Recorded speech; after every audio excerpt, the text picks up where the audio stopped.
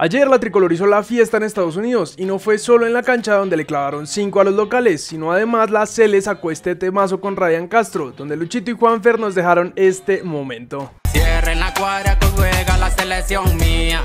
Y hoy la moja Lucho Díaz. Qué calidoso, qué monstruo, qué jugador. Saquen la bandera, saque el tambor, que llegó lo más chimba, la tricolor. Con... Y aunque todo fue alegría, muchos nos quedamos con ganas de ver a Borja en el campo, que tras el encuentro dijo... No, creo que es bonito, es especial estar acá. Me siento un bendecido de Dios. Los compañeros hoy lo hicieron muy bien.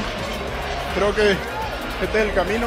Se equivocaron ellos y les, cobramos. Y sobre su llamado y regreso, comentó. No, muy contento. Creo que venía trabajando para eso. Le doy la gracias a Dios por ello. Al cuerpo técnico que tuvo la confianza en mí y bueno, esperamos responderle acá. Ya en cuanto a los que tuvieron minutos, el que habló fue Richard Ríos, que viene de un gran momento con Palmeiras y supo responder con gol, el primero que marca con la selección. Felicidad poder celebrar con nuestros compañeros, con esta hinchada y con este país que está ilusionado. Dedicárselo a mi mamá que está de cumpleaños, solo tengo que agradecer.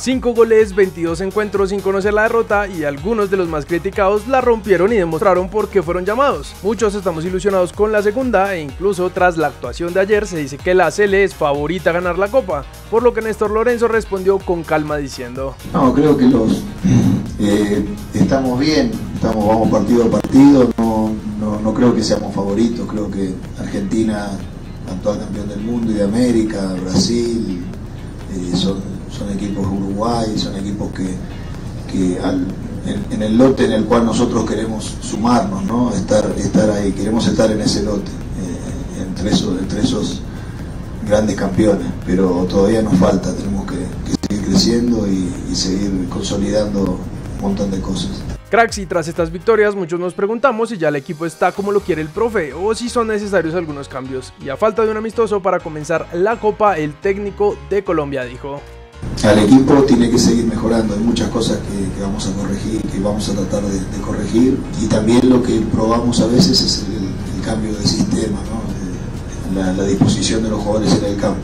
Que, que también tener esa versatilidad nos da más herramientas para el futuro. Y como siempre, la opinión que más nos importa es la de ustedes, cracks. ¿Cómo vieron el encuentro? ¿Sienten que somos candidatos para ganar la Copa América? Los leemos en los comentarios.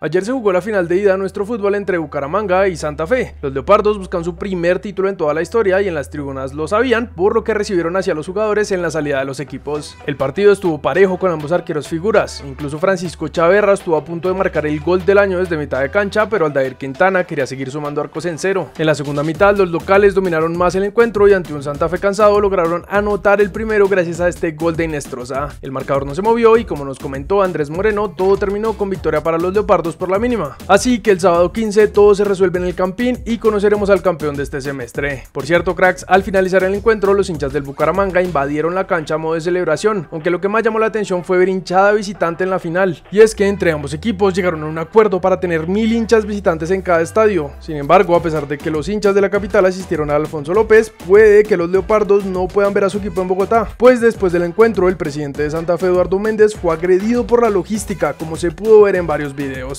Al final del partido nos agredieron a varios de Santa Fe, a los directivos especialmente, recibimos empujones y nos agarraron a pata. Fueron las palabras del presidente.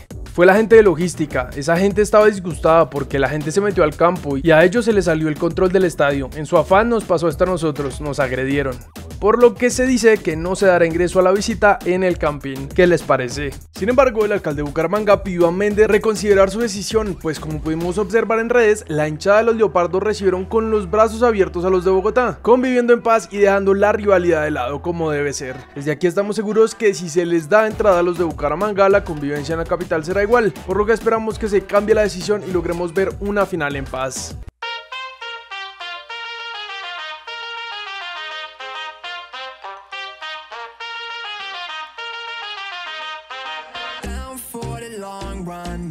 Red Corvette and my drop top down. Calling up my digits in my Motorola and I'm speeding like I robbed someone. Falling and